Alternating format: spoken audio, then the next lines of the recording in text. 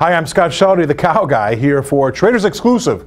Uh, I'm in London. Um, that's prescient because the fact that uh, we've got a lot of things happening globally here that are affecting how we trade in the U.S. I would say the biggest thing on the docket right now is the fact that we've got those tariffs that were introduced by the Trump administration on uh, aluminum and steel. Yes, those are pretty clear about what they are, but what's very unclear is what the tit for tat may be uh, back to the U.S. from other places around the world.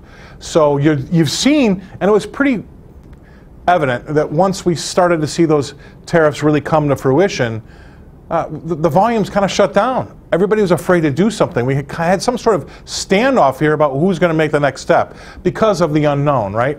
The only known is of our, the tariffs that the U.S. is going to implement. The unknown is are there going to be any cutouts like we did see with Mexico and, and Canada? And what might Europe do against that? And at the same time, I really need to highlight the fact that the central banks that are still keeping interest rates artificially low around the world, the U.S. has been really good about getting out of their quantitative easing program and raising interest rates, two huge steps in getting things back to a more healthier state or normalization. But we can't do it on our own because we still have to worry about the ECB and the Bank of Japan. Their bond purchases together are running at around $1.1 trillion for the year.